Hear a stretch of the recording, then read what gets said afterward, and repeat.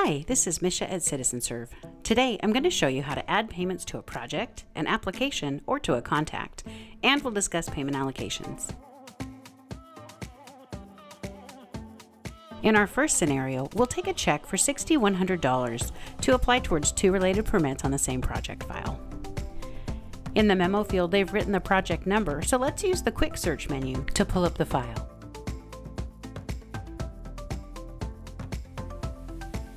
From the File option menu, I'll select Add Payment, and the Add Payment window appears. We see two permits have an outstanding balance that add up to $6,100. Let's add the payment's detail at the top of the form. I'll set the type to check. I'll enter the check number in the reference field. I'll select Sam from the Received From field.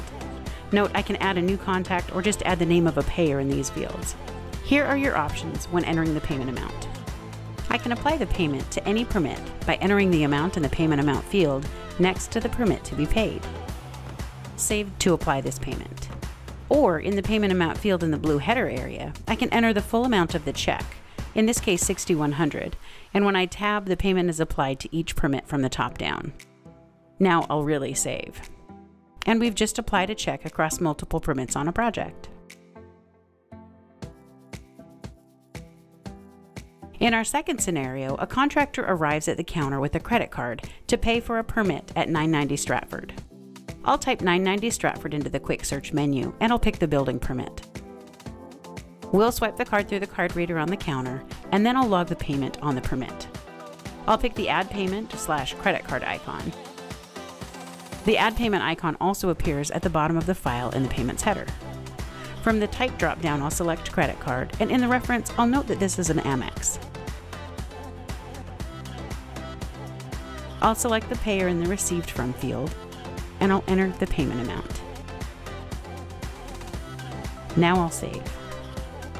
And that's how you apply a payment to a permit or license application. Now let's apply a payment by a contact. In this scenario, Randy from Randy's Contracting Services wants to make a payment over the counter for multiple approved permits, and he wants us to tell him how much he owes. Let's search for Randy's contact record. Now, under Contact Options, let's expand the Add menu and select Payment. It may take your system a moment to load all of the files with balances due for this contact. Here we see three approved permits with the total balance due in this field. If Randy says he wants to pay for just two, you can type in the balance for each permit and the system will calculate the payment amount due. Then Randy writes a check for that totaled amount. Now I'll enter the type and reference. I'll use the print receipt option to provide Randy with a receipt, which is the same as hitting the save button. And that's how you can pay multiple permits on a contact.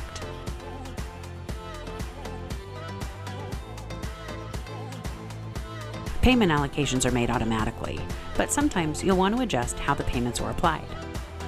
In this permit, an additional plan check fee was added to the project and when the building permit fee was paid, the payment was automatically allocated to the additional plan check fee. Now the contractor has brought us a final payment. So let's add the missing $180. Now view the allocations by clicking the Allocations button in the Payments table header. Here in the allocation table, we see the most recent payment on top. It's been applied to the building permit fee. The payment from February 10th was supposed to be applied to the building permit fee, but because the additional plan check fee was unpaid, part of the payment was applied there as well. Let's update the allocation starting at the top, and we'll add the correct allocation amounts in the revised allocation column. Next to the incorrect building permit fee allocation of $180, I'll enter zero, and below that, I'll allocate the $180 payment correctly to the additional plan check fee. The system detects the double allocation and helpfully highlights the duplicates in red. Under the next payment, I'll apply the full payment amount to the building permit fee, which automatically removes the duplicate allocation. Now I'll save and our payments have been allocated correctly to our fees. One tip with allocations is that you should add your fees first before you add payments, otherwise the payments won't be allocated. For more information or training on this or any other CitizenServe feature, please submit a support request, and we're happy to help. And this is how CitizenServe helps you track and allocate payments.